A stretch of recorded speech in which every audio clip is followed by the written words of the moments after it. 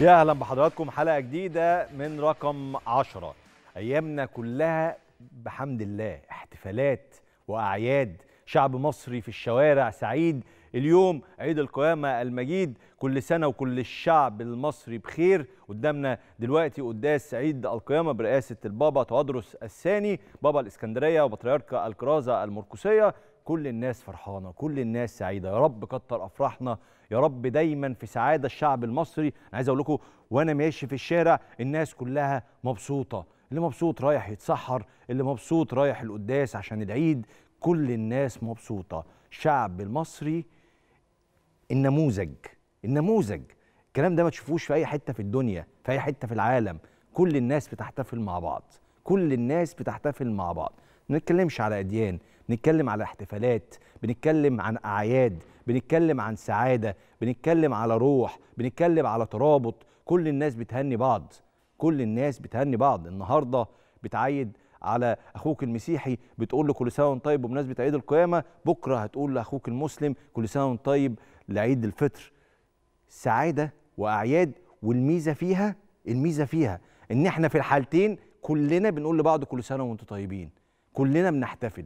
كلنا مبسوطين كلنا سعداء كل سنة وكل الشعب المصري طيب وبخير يا رب دايما بمناسبة عيد القيامة المجيد. طيب حلقتنا بدايتها تخص النادي الأهلي واللي عمله النادي الأهلي امبارح وصعوده لنصف نهائي دوري أبطال أفريقيا. الأهلي كبير القارة كبير القارة الاسم الكبير شخصية النادي الأهلي قدام الرجاء المغربي على ملعبه الممتلئ بالجماهير اللي كان عندها كل الحماس في هذه المواجهة. النادي الأهلي يدخل فيه هدف مبكر يقدر يجيب ضربة جزاء تضيع بعد ما ضاعت ضربة الجزاء يسجل هدف برأسية رائعة لمحمد عبد المنعم. ظروف المباراة؟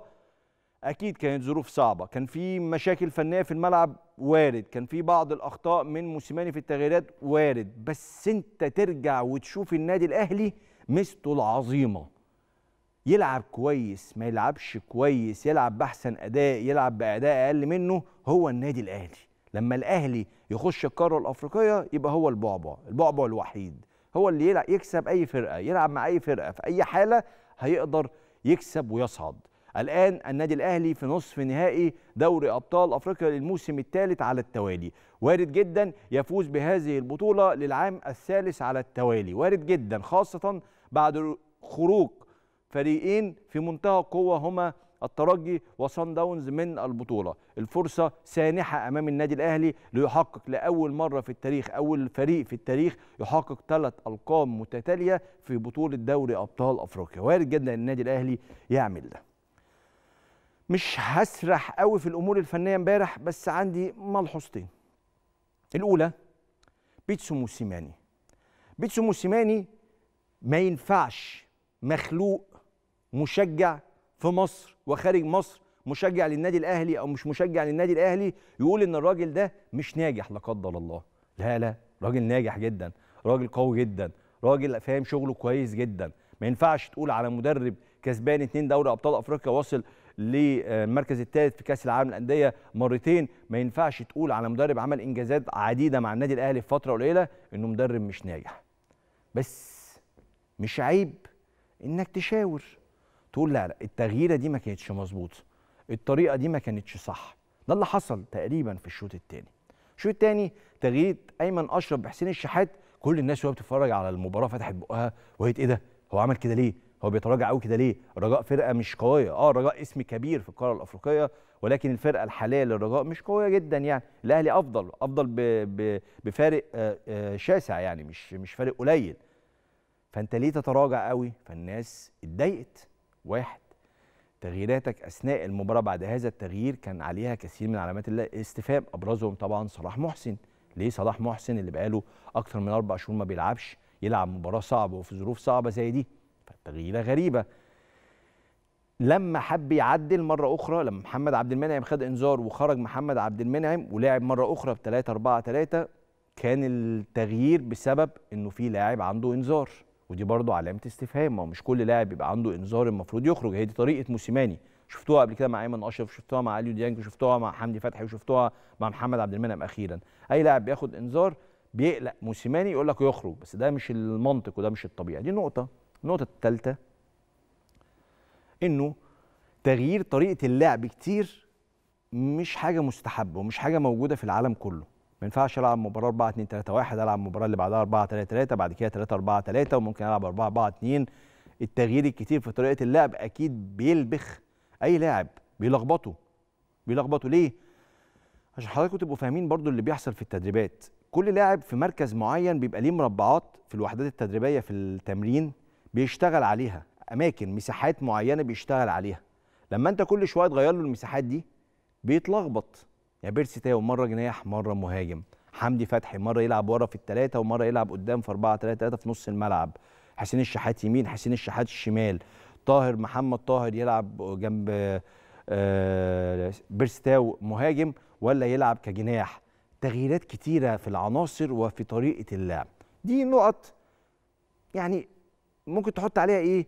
علامة بس. لكن ده مش ضعف للنادي الأهلي مش أزمة مش مشكلة. مش مدرب سيء طبعا بيتسو موسيماني طبعا مدرب كبير وعظيم طبعا. بس لما بنقول الكلام ده بنقوله ليه؟ عشان حضرتك نفسك لما لا قدر الله بيتسو موسيماني يخسر مع النادي الأهلي ولا يبقى فيه مشكلة ونطلع نقول إن النهارده كان في حاجة غلط هتيجي تقول إيه؟ آه هو عشان اتغلب بتقول كده ولما كان بيكسب ما كنتش بتقول كده لا إحنا بنقول في المكسب قبل الخسارة عشان إحنا شايفين إن النادي الأهلي دايما هو كبير القارة. هو أهم فريق في القارة. مش بنقول كده عشان هو ممثل مصر لأ. إحنا بنقول كده عشان كورة وفنيا على مستوى اللاعبين وعلى مستوى الجهاز الفني أفضل مدير فني في القارة الأفريقية اللي قاعد على الدكة بره ده أنت أفضل من كل اللي موجودين.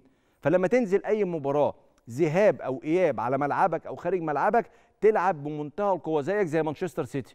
هو مانشستر سيتي مثلا في أوروبا ولا ليفربول لما بيلعب في أرضه أو خارج أرضه بيعمل إيه؟ بينزل فارض سيطرته على أي فريق بيهاجم من أول دقيقة. هو اللي بيضغط حتى لو بيلعب في أي مكان في العالم مش لازم يلعب في إنجلترا.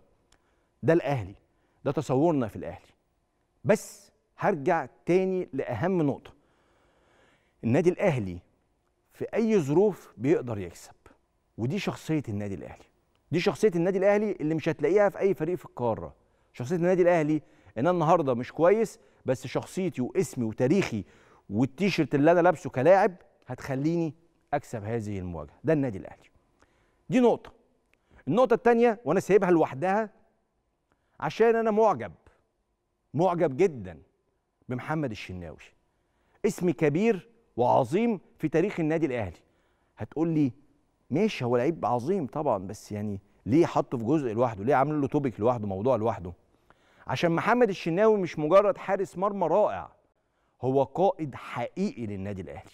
هو قائد حقيقي. أنا أقدر أقول من دلوقتي على حكم عشرتي للنادي الأهلي على مدار تاريخه والكرة المصرية على مدار تاريخها على التاريخ اللي أنا عشته يعني واحد من أفضل الكباتن اللي جم في تاريخ النادي الأهلي. واحد من أفضل الكباتن اللي جم في تاريخ النادي الأهلي. امبارح كان قيادة كبيرة في الملعب تهدئة لل... للأجواء في الملعب. قبل المباراة تصريحاته الذكية المحترمة اللي بيقول فيها إن المباراة بين 11 لاعب و11 لاعب وإنه الرجاء المغربي والشعب المغربي استقبلوا النادي الأهلي أفضل استقبال عشان يهدي الأجواء يهدي الوضع. ده القائد ده اللعيب القائد ده اللعيب النموذج اللي نحب نشوف كل اللعيبة شبهه ده محمد الشناوي. حط بقى الصفات الشخصية دي على جنب. تعالى بقى على الصفات الفنية. محمد الشناوي في ظروف كتيرة ممكن النادي الأهلي يواجه فيها بعض الصعوبات في أرض الملعب هو صمام أمان رائع دائما. فرصتين ثلاثة جم على النادي الأهلي امبارح في منتهى الخطورة. محمد الشناوي موجود. ما تقلقش. العب مش قوي بس محمد الشناوي موجود. محمد الشناوي يقدر. محمد الشناوي هيعدي. محمد الشناوي هيمنع الكرة تدخل المرمى. كل التحية لمحمد الشناوي بالتأكيد التحية الأكبر للنادي الأهلي واسم النادي الأهلي وتاريخ النادي الأهلي. متفائل جدا النادي الأهلي يفوز بالبطولة الثالثة على التوالي في دوري أبطال أفريقيا بهذا الجهاز الفني بقيادة بيتسو موسيماني المدرب الكبير وهؤلاء اللاعبين الرائعين اللي هم أفضل تشكيلة ما بين كل الفرق اللي موجودة في دوري أبطال أفريقيا فنيا ورقميا ممكن بقى تلف وتشوف كل حاجة هتعرف إنه النادي الأهلي هو أفضل فريق مش بنقول كده عشان ما نتحدث عن ممثل مصر فقط ولكن نتحدث فنيا أنه الفريق الأفضل في هذه البطولة. مرة أخرى بنهنئ الشعب المصري بمناسبة عيد القيامة المجيد. يا رب دايما أفراح ويا رب دايما سعادة عند كل الشعب المصري أمامنا الآن. قداس عيد القيامة المجيد برئاسة البابا توادرس الثاني.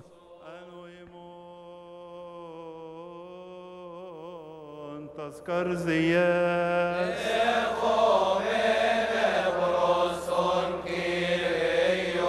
Ευχαριστήσω μεν του Κυρίου.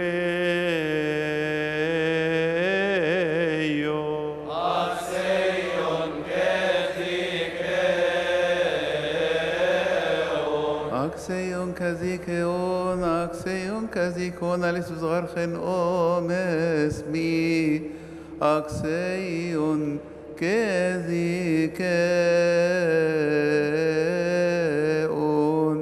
ذي شوب ابني بشويس بنوت انت تمس مي ذي شوب خلون اني اوت أو نورو شائني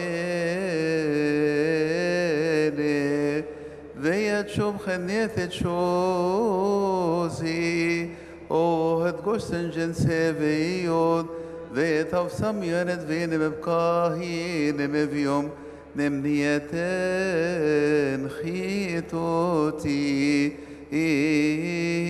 إيرو.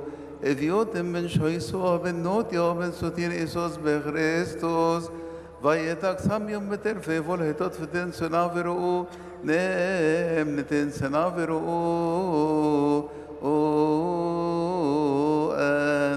أن ذيتهم سيجن بسرونوس انت بفقو ذيدوش تأمو اتنقوم نفنس أو أو Ikasimen yanas este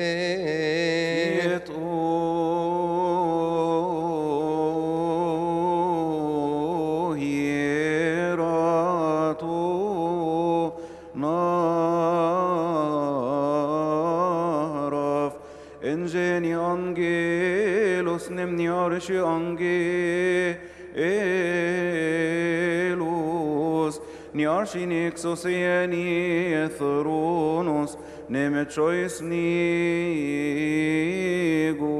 Is anatolas eflepsate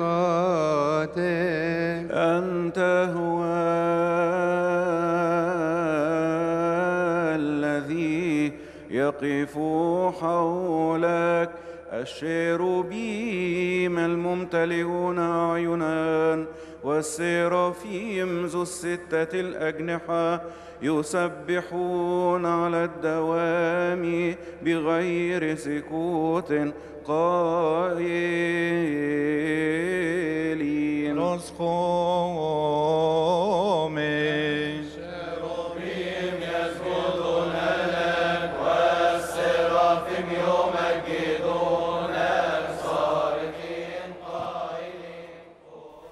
يا أهلا بحضراتكم مرة أخرى. الأهلي هيواجه وفاق سطيف في نصف نهائي دوري أبطال أفريقيا وفاق سطيف الجزائري. مباراة الذهاب هتكون أحد يومي 6 أو 7 مايو في القاهرة إن شاء الله. ومباراه الإياب هتكون أحد يومي 13 أو 14 مايو في الجزائر. كل التوفيق للنادي الأهلي ويحسم المباراة بدري بدري بقى في الذهاب. ما حسمش النادي الأهلي مباراة الرجاء اللي كانت برضه سهلة إنه يحسمها بنتيجة كبيرة في مباراة الذهاب فيحسم إن شاء الله الأهلي في مباراة الذهاب قدام وفاق سطيف عشان يعني يتخطى كل أي ضغوط ممكن يواجهها في مباراة العودة. كل التوفيق للنادي الأهلي. اليوم بالمناسبة أرسنال فاز على تشيلسي في الدوري الإنجليزي 3-1 محمد النني للمباراة الثانية يشارك كأساسي مع أرسنال وتألق كبير لمحمد النني زي التألق اللي حصل في مباراة تشيلسي الماضية. تألق للمباراة الثانية على التوالي كلاعب أساسي في أرسنال. محمد النني ما شاركش كتير مع أرسنال هذا الموسم ولكن أرتيتا المدير الفني لفريق أرسنال بدأ يعتمد على محمد النني ومحمد النني تألق بشكل كبير جدا هتافات كبيرة جدا من جماهير آه نادي أرسنال لمحمد النني اليوم. هتافات يستحقها تحية يستحقها محمد النني اللاعب الذي دائما يظلم من كثير من الجماهير هنا. يظلم. لعيب مهم جدا لعيب رائع جدا لعيب مميز جدا يظلم في الانتقادات الدائمه دائما يتحمل كل شيء محمد النني. أي لاعب مش كويس في الملعب هو محمد النني. طول الوقت الناس إحنا شايفين محمد النني هو اللي مش كويس رغم إن هو ممكن يبقى أفضل اللاعبين. كان هو في تشكيلة أفضل فريق في كأس الأمم الأفريقية الماضية ورغم كده كثير من الناس ينتقدون محمد النني. بداعي أحيانا وكثير من الأحيان بدون داعي. محمد النني النهارده صنع الهدف الثالث لتشاكا في الدقيقة 70 بعد المباراة أرتيتا مدرب أرسنال حرص على احتضان النني والحديث معه وقال النني في تصريحات بعد المباراة إن أرتيتا كان بيشيد بمستواه بيقول له طول ما أنت مصدق نفسك هتظهر بشكل كويس قال كمان النني أنا أتدرب يوميا كأني ضمن تشكيل المباراة الأساسي ودوما أقدم كل ما أملك لأكون جاهزا بصورة دائما وإن ده بيساعدني على الظهور بشكل جيد. ولو لم أتدرب جيدا ولم أخذ الموضوع بمحمل الجد لن أكون موجودا في الملعب مع الفريق. وأنا بركز بشكل دائم مع كلام أرتيتا قال كمان إن أرسنال بيديه الحرية بالنسبة لصوم شهر رمضان وشكر أرسنال على هذا الأمر. النهارده النادي الأهلي آه، أصدر بيان قال فيه إن الدكتور سعد أو الدكتور سعد شلبي قال فيه المدير التنفيذي للنادي الأهلي آه، إن الأهلي أرسل اليوم خطاب لاتحاد الكرة المصري يؤكد فيه على طلبه بإسناد مباراتيه القادمتين في الدوري مع كل من طلائع الجيش وسيراميكا كليوباترا إلى حكام أجانب. يتم اختيارهم من أقوى خمسة دوريات في العالم الدوري الإنجليزي والدوري الأسباني والدوري الألماني والدوري الإيطالي والدوري الفرنسي. طلب الأهلي أن يكون حكم الساحة الذي يتم استخدامه بمعرفة اتحاد الكرة من بين أفضل خمسة حكام في بلاده. أرفق النادي بخطابه شيكا بقيمة ما يعادل 80 ألف دولار تكلفة حكام المباراتين. حك... حكام ساحة زائد حكام الفار. حسبما حدد اتحاد الكرة وتم إبلاغ الاتحاد بأن الأهلي سوف يحدد مباراتي اللاحقتين التي يطلب إدارتهم لحكام أجانب عندما يتلقى مواعيد المباريات المتبقية في جدول الدوري الممتاز. والله اتحاد الكرة وافق والنادي الأهلي بعت الفلوس. والناس كلها مبسوطة يبقى مشي دون تعليق دون تعليق. نتائج أهم مباريات اليوم السبت المباريات اللي حصلت النهارده في دوري أبطال أفريقيا إياب ربع النهائي. زي ما قلت لكم سان داونز خرج من البطولة بعد ما تعادل مع بيترو اتلتيكو وصعد بيترو اتلتيكو الأنجولي بمجموع المباراتين 3 2 والوداد وشباب بلوزداد مباراة ما زالت جارية. في الدوري الإنجليزي الجولة 34 أرسنال زي ما قلت لكم فاز على مانشستر يونايتد 3-1 ليستر سيتي تعادل سلبيا 0-0 مع أستون فيلا في مباراة شهدت عودة جيمي فاردي المهاجم الكبير. ومانشستر سيتي منافس ليفربول على لقب الدوري الإنجليزي عمل نتيجة كبيرة جدا على واتفورد 5-1 واتفورد صاحب المركز القبل الأخير في الدوري الإنجليزي. ونيوكاسل فاز على نوريتش سيتي 3-0 برينتفورد تعادل سلبيا مع توتنهام. وفي الدوري الإيطالي تورينو فاز 2-1 على سبيزيا وفينيسيا خسر 3-1 قدام أتلانتا ومباراة كبيرة جمعت إنتر ميلان وإيس روما. إنتر اللي بينافس بقوة على الدوري الإيطالي فاز 3-1 ومباراة أخرى هتبقى سامبدوريا وهيلارس فيرونا لسه مقامه حاليا. الإنتر وإي سي ميلان منافسة قوية جدا على لقب الدوري الإنجليزي. بكرة بيراميدز عنده مباراة مهمة جدا أمام مازيمبي في الكونفدرالية الأفريقية نفس الأمر بالنسبة للمصري أمام نهضة بركان. كل التوفيق للمصري كل التوفيق لبيراميدز. إن شاء الله أداء مشرف ونتيجة مشرفة وبإذن الله يصعدوا إلى الدور القادم في الكونفدرالية. الفرقتين عاملين أداء رائع جدا في البطولة فاكرين مباراة المصري الماضية أمام نهضة بركان. قدر يفوز فيها 2-1 بأداء رائع جدا وأداء مميز جدا بعد ما كان بيلعب بتسع لاعبين المصري. تسع لاعبين سجل هدف الفوز بتسع لاعبين وبيراميدز تعادل في مباراة الذهاب ولكن قادر أن يفوز في مباراة العودة. كل التوفيق لبيراميدز والمصري. دي نهاية حلقتنا من رقم 10 ومرة أخرى كل التهنئة لكل الشعب المصري بمناسبة عيد القيامة المجيد وأشوفكم يا رب على ألف خير.